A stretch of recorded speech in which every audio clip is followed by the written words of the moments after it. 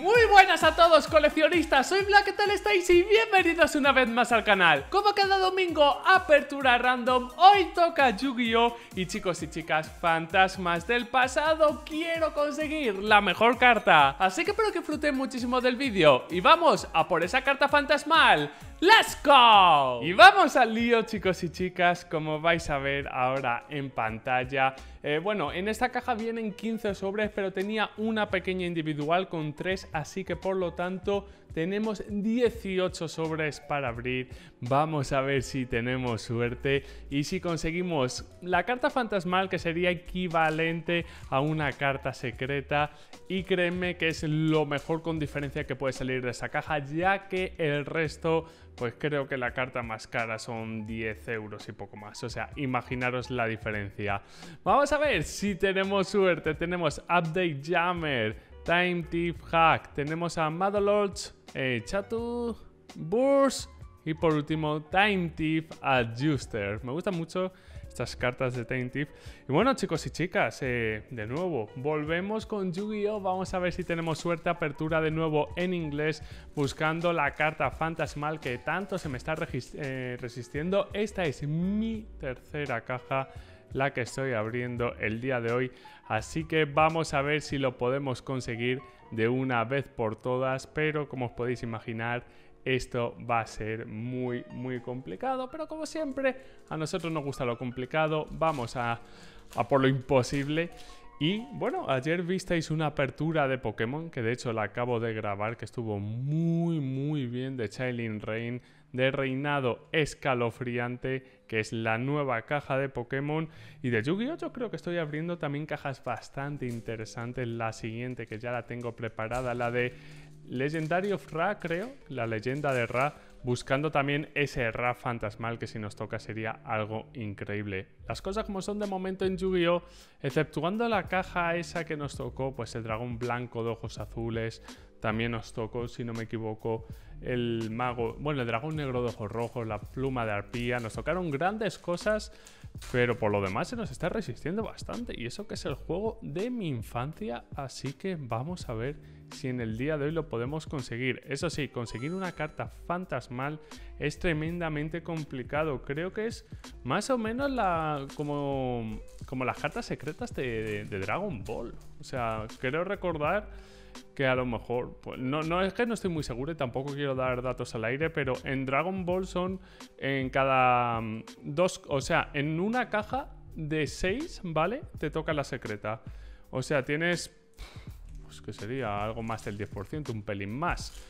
Pero es que aquí, en Yu-Gi-Oh! no sé si es igual o más complicado sacar la fantasmal. Eso sí, están hinchaditas de precio, sobre todo la del mago oscuro está súper hinchada, que ahora mismo la estoy viendo aquí a 380 euros. No sé si será la inglesa en un buen estado, pero eso es muchísimo, muchísimo dinero, chicos y chicas. Así que vamos a ir. Hoy, lo dicho, el, objetivo es una carta fantasmal y es la única carta que metería hoy en una funda en este vídeo. Porque eh, también esta, esta apertura la estoy haciendo para completar la colección de todas las cartas que no sean las fantasmales. Y si me decís, mira, Black, eh, lo que más te conviene es eh, comprar el resto de cartas, decírmelo y lo hago, ¿vale? Y tenemos la colección de cartas fantasmales. Porque si es tan tan complicado, pues imaginaros, pero al menos alguna me encantaría, como siempre, sacar abriendo, abriendo cajas, porque es mi objetivo, ¿no? Que las colecciones que vaya haciendo sea eh, con seguimiento, que vosotros la veáis y que vosotros veáis, hostia, pues mira, este mago oscuro fantasmal lo sacó Black en una caja, fue flipante, es la idea, pero entiendo también que es muy complicado y en aperturas random como os llamo yo, a Yu-Gi-Oh, Magic y, Digimon, completar la, colección sin comprar alguna va a ser... Eh, va a ser bastante, bastante difícil. Pero en Digimon yo creo que estoy bastante bien, la verdad. El problema lo tengo más en Yu-Gi-Oh! y en Magic, pero todo es ir aprendiendo. De hecho, si tenéis alguna carta interesante en inglés, como siempre, podéis contactar conmigo en mi Instagram.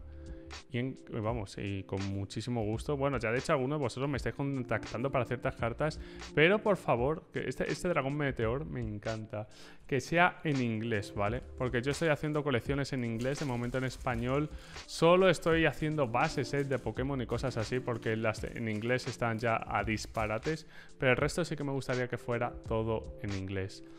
Bueno, de momento la cosa pinta muy complicada, no estamos teniendo la mayor de las suertes, pero ya sabíamos a lo que veníamos, la cosa está muy muy complicada, de hecho este vídeo ya va por 6 minutos, pero es que el problema de, Yu-Gi-Oh!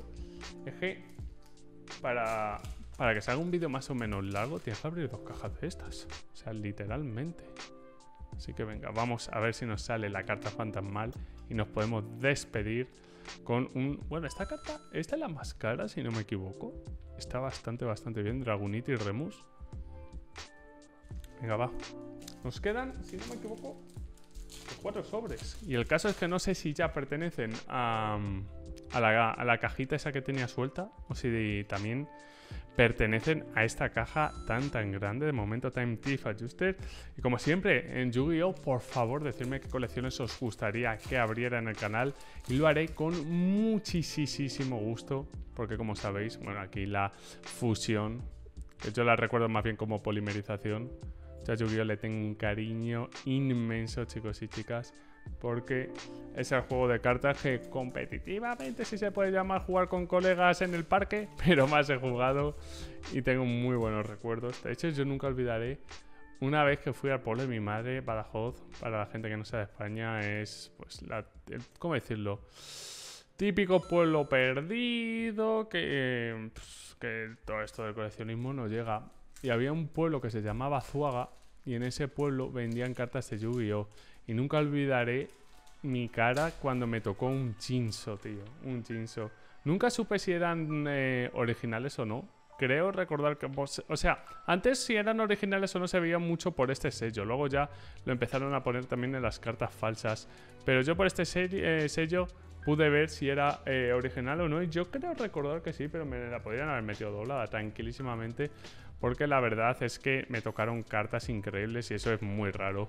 Pues chicos y chicas, nos quedamos sin carta fantasmal, pero así son las cosas, son muy difíciles de conseguir, pero el día que nos salgan vamos a flipar, ya veréis. Así que nada chicos y chicas, siento mucho que no haya sido la mejor apertura del mundo, pero me habéis pedido mucho Yu-Gi-Oh! Fantasma del pasado y aquí os lo he traído. Si queréis más de esta maravillosa colección, reventar el botón de like, no olvidéis suscribiros y nos vemos mañana con mucho más. Un saludo y hasta la próxima. Chao, chao.